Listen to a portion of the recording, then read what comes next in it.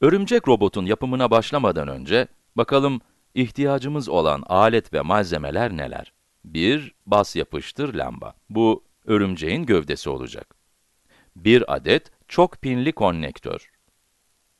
1 adet Arduino Nano kart. Dondurma çubukları. Bunlara ihtiyacımız olacak.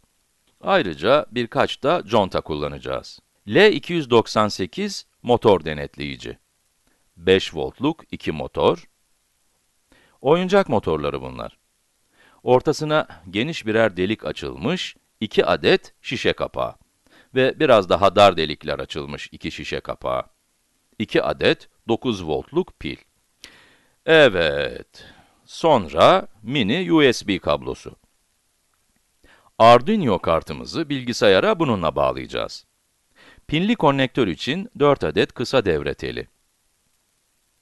Dişi dişi kısa devre telleri bunlar.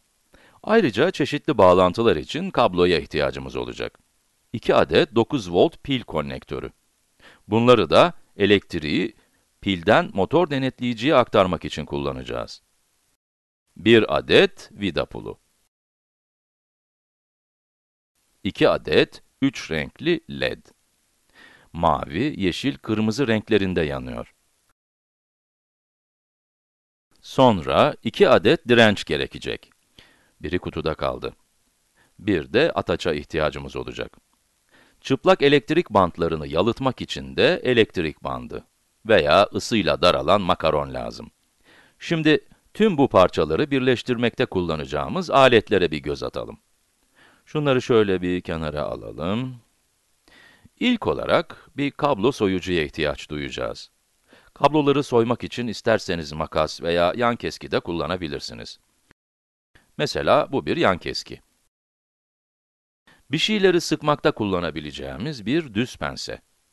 Telleri kanca haline getirmek için bir karga burun. İnce uçlu bir tornavida. Bir tane silikon tabancasına ihtiyacımız olacak. Tabii bir de havya lazım. Bağlantıların daha sağlam olması için telleri bununla lehimleyeceğiz. Isıyla daralan makaron kullanacaksanız, bir de sıcak hava tabancası edinmelisiniz.